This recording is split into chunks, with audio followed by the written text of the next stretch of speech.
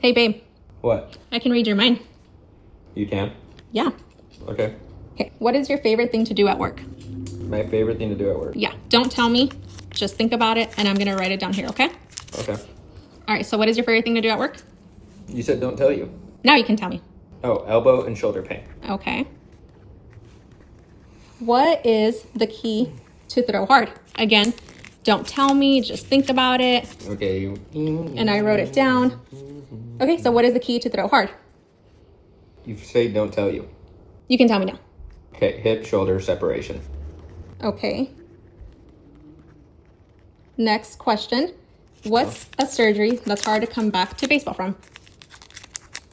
Okay. Do I tell you? Actually, no, don't tell me. I already got it. Okay. Got it. Okay, so give me all the papers.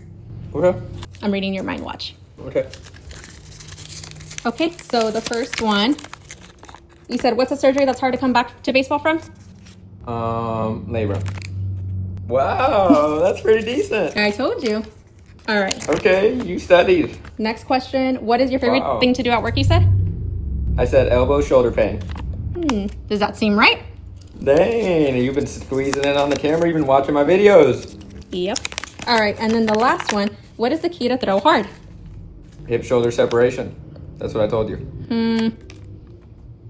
Hip shoulder separation. You actually know baseball. Wow. See, I you knew are it. definitely the one for me.